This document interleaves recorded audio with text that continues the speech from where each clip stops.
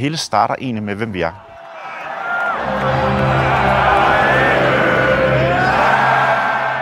Vi kan godt lide, at der ikke er nogen, der skal fortælle os, hvad vi skal gøre.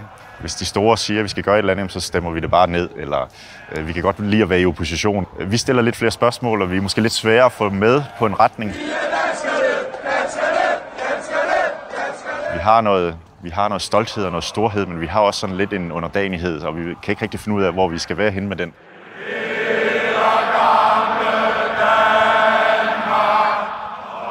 Jeg tror, det er en god idé at gøre sig klogere på vores identitet, og jeg er helt sikker på, at vi, at vi herinde både har set masser af gange og kommer til at se et hold, som står tæt sammen, og som står på skuldrene af befolkningen, som vil kæmpe til sidste blodstruppe mod de store.